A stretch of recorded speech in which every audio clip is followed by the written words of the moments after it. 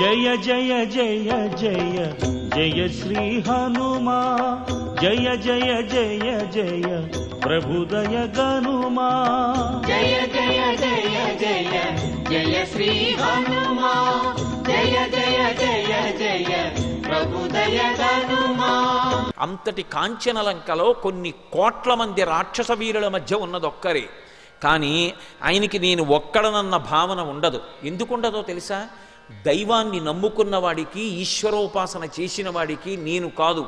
నాతో ఎప్పుడూ సర్వేశ్వరుడు ఉన్నాడు నాతో ఎప్పుడూ భగవానుడు ఉంటాడు ఆయన నాతో కలిసి తిరుగుతూ ఉంటాడు పొదివి పట్టుకుంటాడు. ఆయన నాతో ఉండగా నాకెందుకు బెంగ? అన్న ధైర్యం ఇస్తుంది. అందుకే పరస్పర విరుద్ధమైన రెండు విషయములను ఏకకాలమనం దివ్వగలిగినది భక్తి ఒక్కటే. లోకంలో భయాన్నిచ్చే వస్తువు ధైర్యాన్నివ్వదు. ధైర్యాన్నిచ్చే వస్తువు భయాన్నివ్వదు. భయం ఉండకూడదు కూడా. భయం ఉంటే అది మృత్యువుకి మారుపేరు భయం కలిగింది అంటే చనిపోయాడు అనే లెక్క. ఎందుకంటే మృత్యువుకి ముఖద్వారం భయం.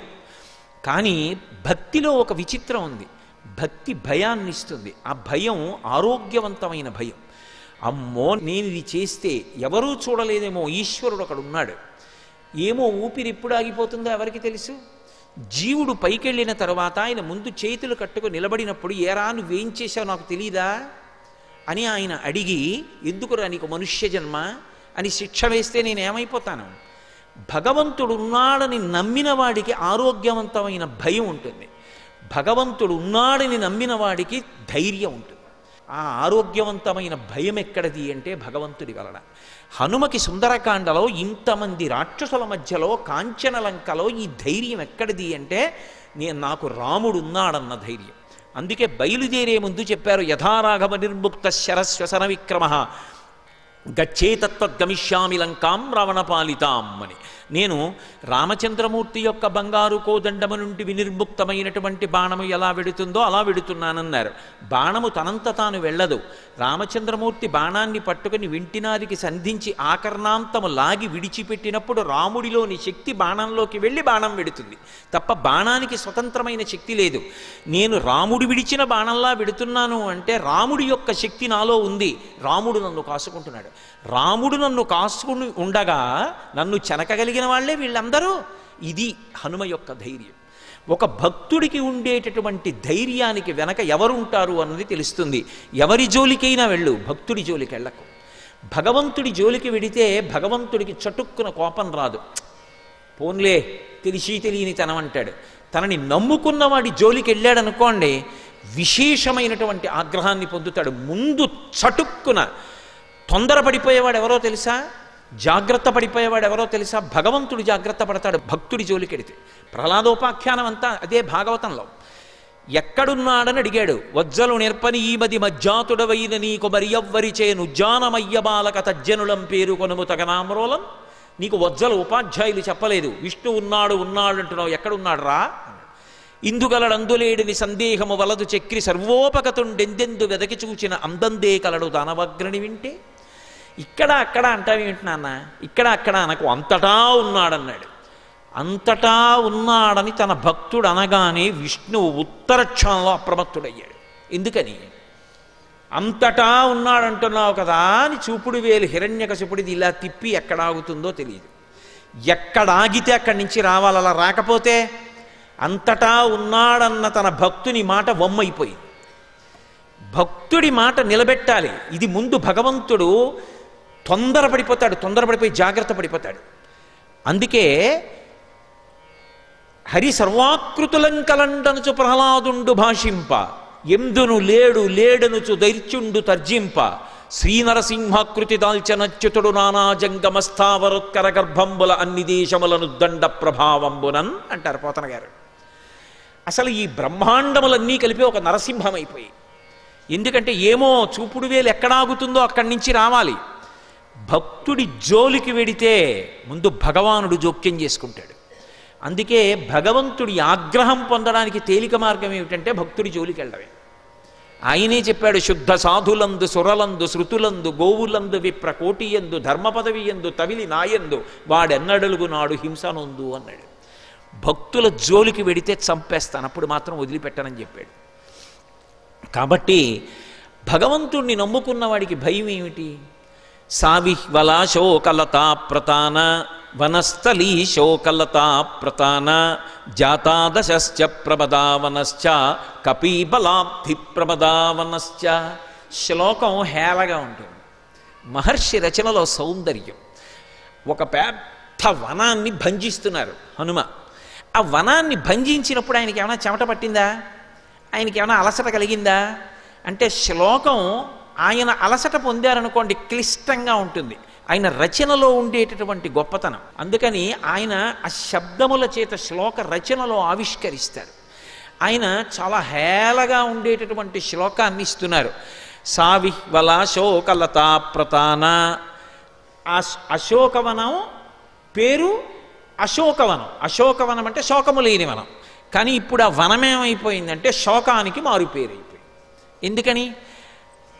కపీబలాబ్ధి ప్రమదావనశ్చ జాతాదశాశ్చ పదావనశ్చ ఆ హనుమ యొక్క తీవ్రమైనటువంటి తొడల వేగానికి ఆయన చెట్టు మించి చెట్టు చెట్టు మించి చెట్టు చెట్టు మించి చెట్టు దూకేస్తూ కొమ్మలన్నీ విరిచేసి భంజనం చేసేస్తుంటే అప్పటి వరకు ప్రశాంతంగా ఉన్నటువంటి వాతావరణం ఒక్కసారి అందరూ ఉలిక్కి పడిపోయారు. తద్వనం అధికై వృక్షై సర్వర్తు ఫలపుష్పితై ఉద్యానాని చరమ్యాణి రమ్యాణి ఎక్కడ చూసినా మంచి మంచి ఉద్యానవనాలతోటి మంచి ఫలములతోటి పుష్పములతోటి సరోవరములతోటి ఉంది. కానీ ఎప్పుడైతే హనుమ దాన్ని భంజించడం ప్రారంభించారో వెంటనే ఆ చెట్ల కొమ్మలన్నీ విరిగిపోయి అలాగే భిన్నైశ్చ సలిలాలయై అక్కడ ఉండేటటువంటి సరోవరాల యొక్క గట్లన్నీ కూడా బదలగొట్టేశారు. లోపల ఉండేటటువంటి నీళ్ళన్నీ పెద్ద ప్రవాహం కింద బయటికి వచ్చేసాయి అక్కడతో ఊరుకోలేదు. చూర్ణితై పర్వతాగ్రైశ్చ తన యొక్క వక్షస్థలంతో ఉరసా పాతయామాస జీమూతమివమారుత అంటారు. పర్వతముల యొక్క శిఖరాగ్రములను విపరీతమైన వేగంతో వెడుతూ తలెత్తి గుండెలతో గుద్దారు. గుద్దితే అవన్నీ చూర్ణములైపోయి కింద పడిపోయి. ఎంతసేపట్లో? నేను చెప్పినంతసేపు పట్టలేదు.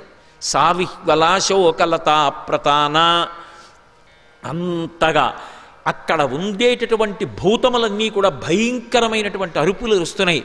నిద్రపోతున్నటువంటి రాక్షస స్త్రీలందరూ కూడా ఉలిక్కిపడి లేచారు. ఏమైంది ఏమైంది ఏమైంది తెలుసుకునే లోపల ఎవరికి అవకాశం లేదు. చెట్లన్నీ విరిచేస్తున్నారు. మహాభూతం. ఒక్క సీతమ్మ తల్లి కూర్చున్నటువంటి శిశుపావృక్షాన్ని మాత్రం విడిచిపెట్టేశారు. ఈ విడిచిపెట్టేయడంలో మళ్ళీ రెండు విశేషాలు. ఒకటి తాను సీతమ్మ దర్శనానికి వచ్చానన్న విషయంలో ఏ అనుమానం ఉండక్కర్లేదు.